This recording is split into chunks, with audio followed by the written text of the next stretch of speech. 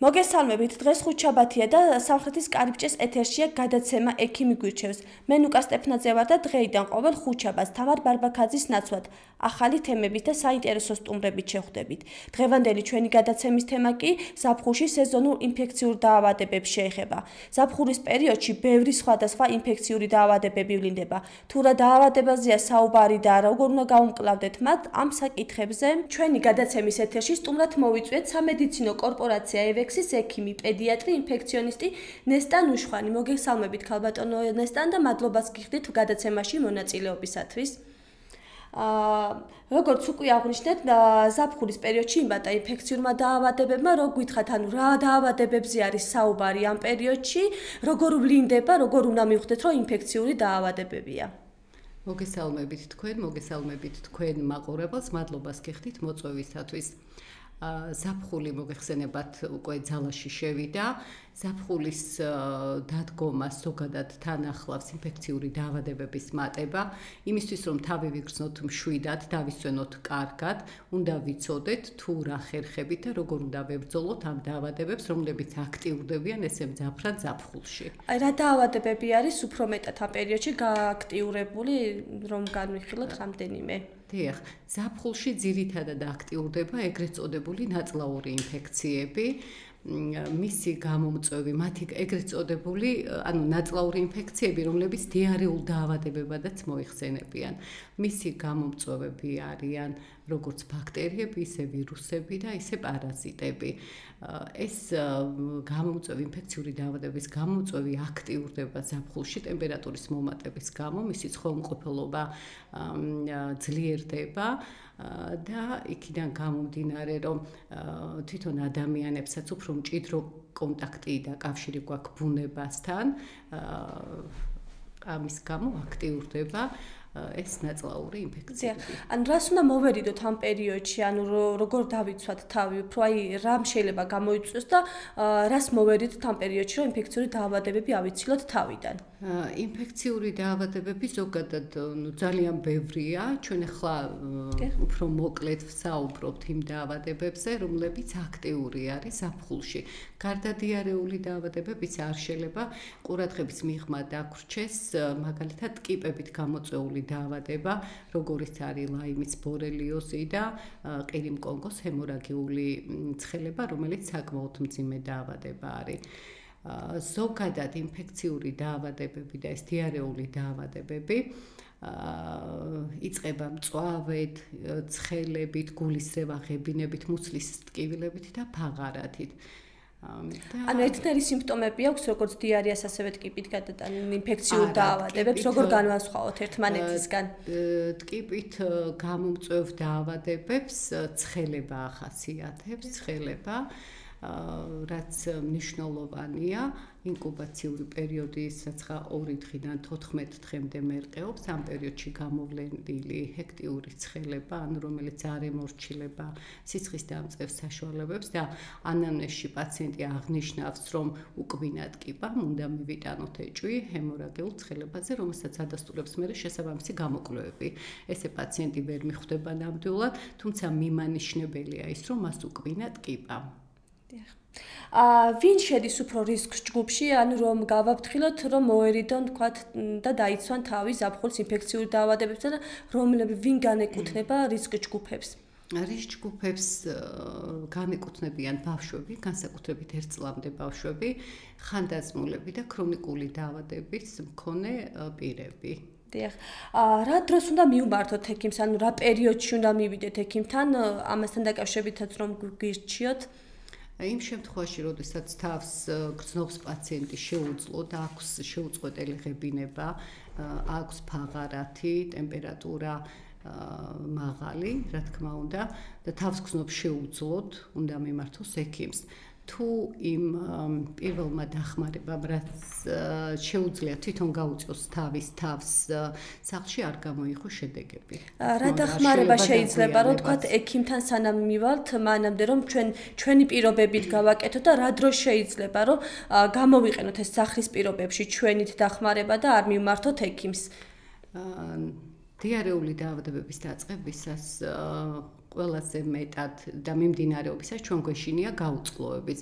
იმის გამო რომ გაუწყლოება არ დადგეს, ეს გაუწყლოება იწევს ანუ ჰიპოვოლემიურ შოკს, ანუ სითხის დაკარგვით გამოწვეულ შოკს, რომელიც ხშირად სავალალო შედეგებამდე მიდის თუ დროულად არ აღმოუჩინეთ დახმარება. ამის გამო პირველი დახმარება, რაც ყველამ უნდა იცოდეს, ანუ გაუწიოს საკუთარ თავს ეს არის, რომ მიიღოს დიდი რაოდენობით სითხეები. და ელექტროლიტები. მაგალითად, ახლა წყალი, ჩაი, ორალური სარეგიდრატაციო სითხეები ცნობილია მაგალითად რეგიდრონის სახელწოდებით და ყველა მედიკამენტები რამდენად შეიძლება თვითნებურად რომ მივიღოთ სახში ამ პერიოდში? არ შეიძლება ნამდვილად კატეგორიულად განსაკუთრებით ის ანტიბიოტიკების მიღება მოსახლეობა მიმართავს ხოლმე ესე თვითნებურად ღებულობს ანტიბიოტიკებს რომლებიც რომელიც ყოვლად დაუშვებელია ამ დროს ვითარდება ესე იგი რეზისტენტული ბაქტერიები და შემდეგ უკვე მათი მკურნალობა ძნელდება და პლუს არიან გამავრცელებლები ამ ინფექციის. რა შედეგამდე შეიძლება მივიდეს აი ესე თვითნებურად მკურნალობით მაქსიმუმ რა შეიძლება რომ თქვათ მოუვიდეს პაციენტს ამ ამ პერიოდში? რა თქმა უნდა, შეიძლება გართულდეს ისე ინფექცია, ხო? პირველი გართულება ეს არის გაუწყლოება, ну შემდეგ ახლა ერთვება თითქმის ორგანიზმის ყველა სისტემა და მიდის სავალალო შედეგებამდე. რამდენად დიდი არის ამ პერიოდში მომართვიანობა თქვენთან, თუნდაც დიარით, თუნდაც ტკიპით გადამტანი ინფექციური დაავადებებით, აი ზაფხულში ინფექციური დაავადებებით, რამდენად უფრო ხშირად მოგმართავენ, თუნდაც ამ სეზონზე რომ ავიღოთ ერთი ამ სეზონის მაგალითით. იცით იქიდან გამომდინარე რომ ეს დაავადებები არის ესე იგი მაგ დაავადებს ახასიათებს სეზონურობა. აა ამის გამო ამ პერიოდში ამ დაავადებებით მომართვიანობა მატულობს. რა თქმა უნდა, როგორც ტკიპების კბენის შედეგად სიხარულოა ის, რომ აქ ესე იგი ტკიპი ტკიპების უმრავლესობა იმ ვირუსის მატარებელი არ არის, ის ჩვენ გვეშინია ძალიან ცოტა პროცენტი არის მატარებელი მაგალითად, რომ განუვითარდეს ადამიანს ყირიმკონგოს ცხელება, მაგრამ ну მაინც ფრთხილად უნდა ვიყოთ, რა თქმა უნდა და უნდა დავიცვათ თავი ზაფხულში მაქსიმალურად. როგორ შეიძლება თქვა ტკიპისგან დავიცვათ თავი ამ პერიოდში და რა შეიძლება მოვიმოქმედო თუ შევამჩნევთ, რომ თქვა ტკიპამ გვიკვინა? იცით ეხლა საკითხი როგორ დგას? თუ ტკიპამ უკბინა ადამიანი ჯერ იმისათვის უნდა დავიცვათ რაღაც ზომები იმისთვის რომ არ გვიკბინოს ტკიპა მაგალითად ზაფხულში გარეთ უნდა გავიდეთ საღამოს საათებში ღამის საათებში.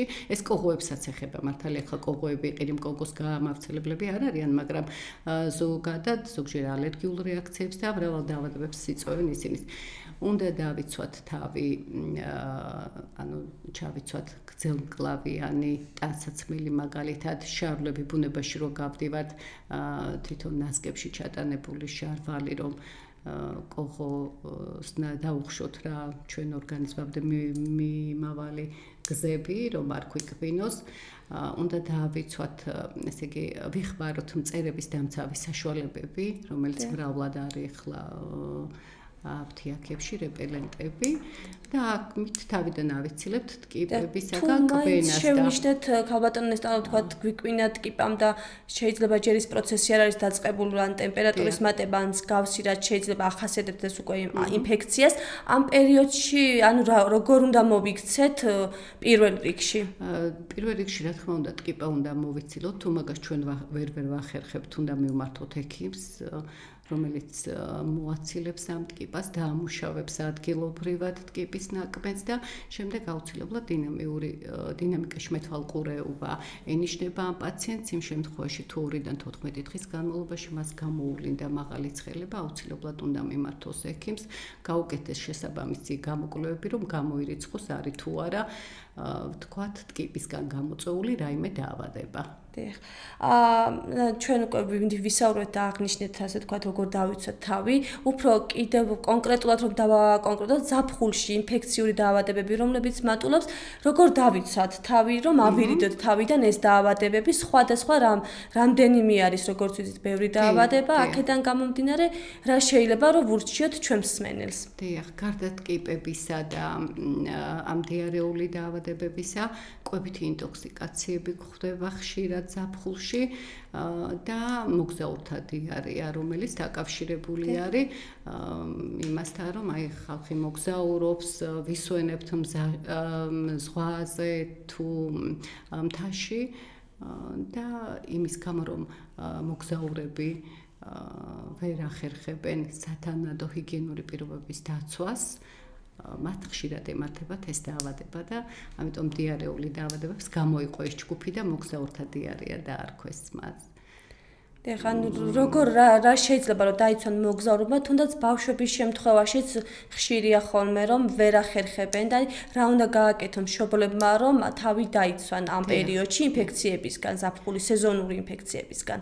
დიახ ანუ სეზონური ინფექციების ამ ნაწლავური ინფექციების ან ზაფხულის ინფექციებისგან რომ თავი დავიცვათ ერთ-ერთი აუცილებელი პირობა არის პირადი ჰიგიენის დაცვა მერწმუნეთ თუ ჩვენ ხელებს დავიბანთ გამდინარე წყლით და საფნით ხშირად ძალიან დიდ პროცენტს ავიცილებთ ინფექციური დაავადებებისა თავიდან. მეორე ზაფხულში უნდა მოვერიდოთ მალე ფუჭებადი პროდუქტის მიღებას. აუცილებლად ასეთი პროდუქტის მიღების წინ უნდა მისი შენახვის მომზადების ვადებს გადავავლოთ თვალი და არ მივიღოთ ის თუ არის ვადა გასული ან არ არის სათანადო შენახული ოთახის ტემპერატურაზე არ შეიძლება მზაკერძი 2 საათზე მეტხანს გაჩერება. უნდა ვრეცხოთ ხილი და ბოსტნეული, განსაკუთრებით მწვანილი გამდინარე წყალში დიდხანს. მე დიდი მნიშვნელობა აქვს საკვებად ანუ სასმელად ვარგისიანი წყლის მიღებას.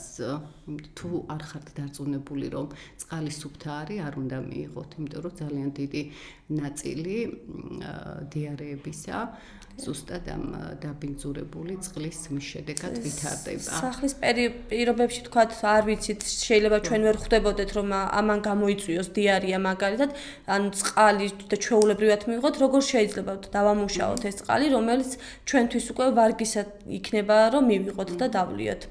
ზოგადად ღია წყალსატევებიდან არ უნდა იყოს წყალი სასმელად მიღებული.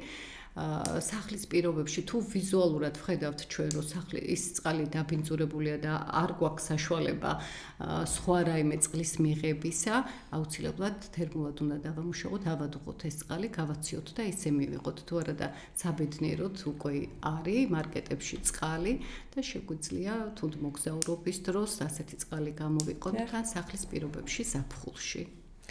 მადლობას გიხდით ქალბატონო ნესტან გადაცემაში მონაწილეობისთვის. შეგახსენებთ, რომ თქვენ უსმენთ რადიო სამხრეთის კარიბჭეს გადაცემას ექიმი გვირჩევს. ჩვენი გადაცემის სტუმარი კი გახლავთ სამედიცინო კორპორაცია ევექსის პედი ექიმი პედიატრი ინფექციონისტი ნესტან ნუშვანი.